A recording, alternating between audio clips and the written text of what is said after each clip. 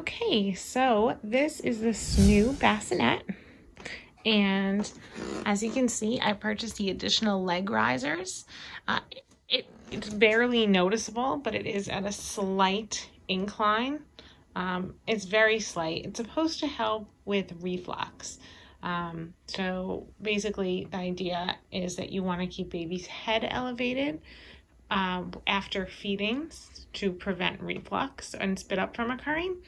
Um, however, I mean, the degree to which this is elevated, um, I find it really doesn't do a whole lot. Um, we really want to keep them elevated, sitting up more of like a 45, 90 degree angle. Um, so I'll just keep baby um, more on my chest until I'm ready to put him back into the bassinet. And moving inside, what you have is um, the sleep sack that comes with it. It comes with three sizes, small, medium, and large. And each um, size does indicate the weight of the baby. Um, so I believe the large starts at like 18 to 25 pounds. Um, so we're moving into the large right now. And there are these little wings on the side. Um, so this one I already have clipped on. I don't know if you could tell, but there is a little loop here. And you can't go through the bottom. You have to start at the top. So you just slide it on, slide it all the way down. And then what happens is you are going to put baby inside. So this is going to stay tethered so that the baby cannot move. It's kind of like a little baby straitjacket. Okay, and inside, you'll notice that there is the Velcro. Now, careful because this does like to stick onto the side of the snoo. So whenever I take them out, I try to fold it back down. But you want to kind of keep these open when you put baby inside. So baby goes down. You want to make sure their arms are going to be right here on the sides. Fold it over. Zip baby up I've used sleep sacks as well, um, or uh, wearable blankets. I just kind of tuck it into the bottom here and zip baby up. Um, so this actually can be washed. You take this off and wash it. The actual bassinet pad can be removed to be washed as well. It washes really nicely. Now, if you look at the front, there is a light on. So this has to be plugged in at all times. So if you do not have an outlet nearby, um, you might need an extension cord. Uh, that's something I don't love about it, that it has to be plugged in. It'd be great if it ran on batteries. And then moving underneath, so we have the power button here, and this is the Wi-Fi button. This works with the app, this Snoo app. If you don't want to use the Wi-Fi feature, just press this button and the transmission turns off. Press the power button and it is off. You see the light turn off. I'll press the button again and the light turns on. Now, when baby is inside, what it's doing is it's sensing the cries. I think it has something to do with the wings. Basically, it is going to um, start baby starts moving, it senses it on the wings. It also, they say it hears babies crying and will begin to rock it harder. Each setting is indicated by a color. So blue is the calm setting. It just kind of moves it gently from side to side.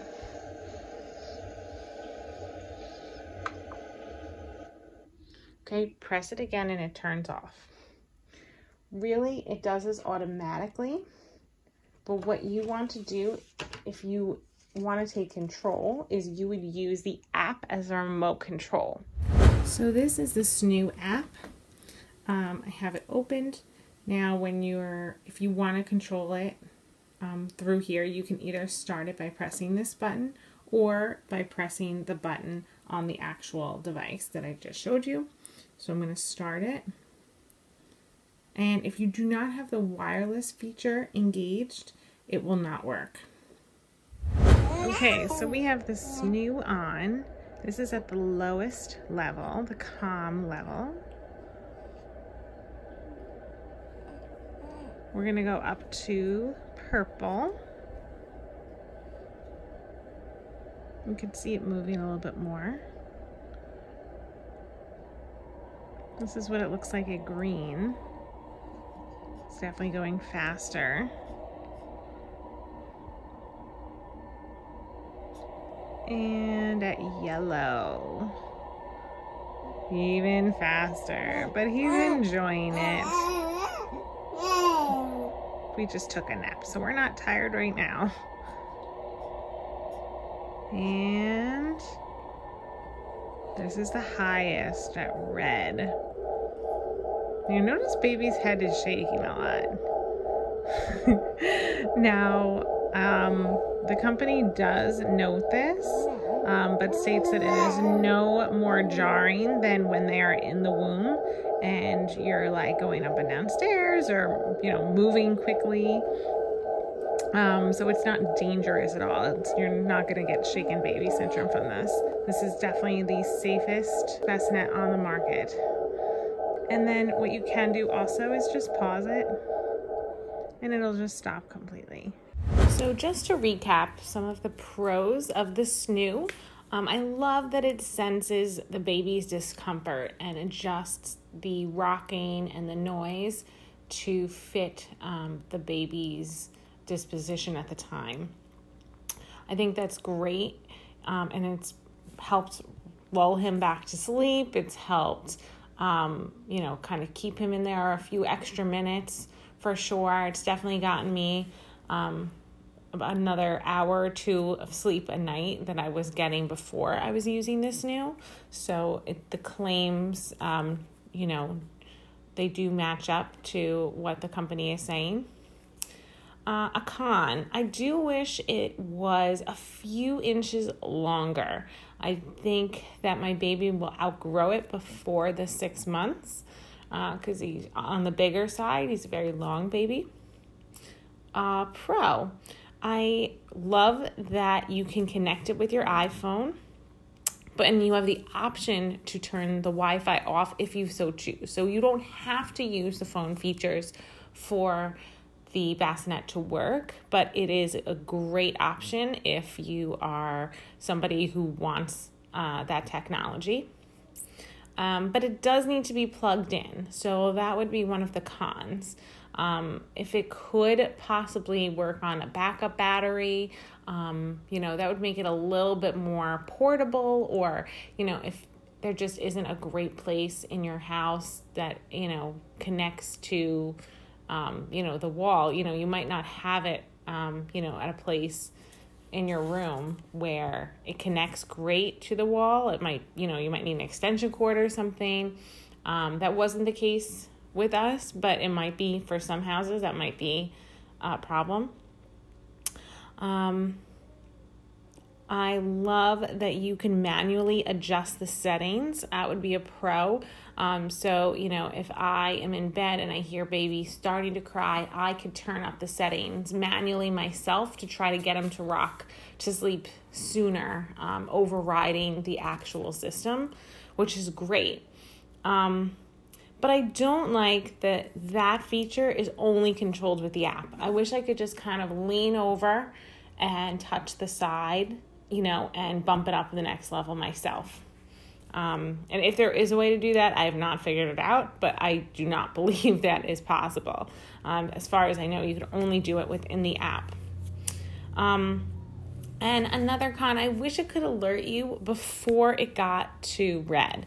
So, right now, um, you have to wait until it is on that last level, that highest level, um, and then it will stop and it will send you a text alert saying, um, or notification rather, saying, you know, baby needs your attention. But I wish at, you know, as soon as they weren't calm anymore, it said baby is starting to stir, baby is getting more agitated. Like I would like those types of things to be sent to me. I'd like an increase in notifications actually. Um, and also the con is the price tag. I mean, It is a very expensive item and you can rent it. Um, but I feel like if you wait for one of the sales, um, it's really just about as expensive to rent it as it is to buy it. Um, I waited for the 30% sale. Um, I've heard there are 35% off sales, um, maybe probably less frequently, but um, if you could wait for a 30% off sale, um, you know, you would save about $100, $200, I think, by renting it. But at that point, I was like, you know, you could always resell it. I, they hold their value really well. Um, I'd say if you if you're at a point where there aren't any sales and it's you know spend twelve hundred dollars or seven hundred dollars to rent it, then renting it would definitely be a better option than not having it at all. Um, also, maybe an idea is you can split it with some people if you know someone else who's going to have a baby, maybe like you know a couple months after you or if someone's planning to have another baby, you know, maybe you guys would kind of split the cost of it and then sell it and split that cost once no one is going to be using it anymore. Um, I feel like it does hold its value and it is worth the price tag. Um, it's hard to swallow because it is a long, uh, it is a very, very big price tag, but it will be kind of worth it uh, for the sleep. Um, and my last pro is the aesthetics of it. I think it's, you know, it's aesthetically pleasing. It's nice to look at. Um, the design is really great. It's easy to put together as another pro, uh, not complicated to use, and it just works. I like technology that just works. I don't really have any hiccups with it. Um, you know, it does what it says it's going to do. Um, and that is, you know, always, I feel like, worth paying a little bit more for, in my opinion. So I hope that you, um, you know, enjoyed this kind of review, this breakdown, um, kind of tutorial on how to use this Snoo. It's been a really great tool uh, to help my baby go to sleep. And, um, you know, while I know that not everybody would be able to afford it, um, you know, look online, look at Facebook Marketplace, look at Craigslist. You know, I know people are going to sell them when they're not using them because it's an expensive item and it works well and it's not going to just break after six months. So it's something you could definitely use and buy secondhand. So if you can't afford it from the actual company, you know, look in your community for people who are selling it. Um, I think that would be a great option for a lot of people. Um, and I hope this was helpful.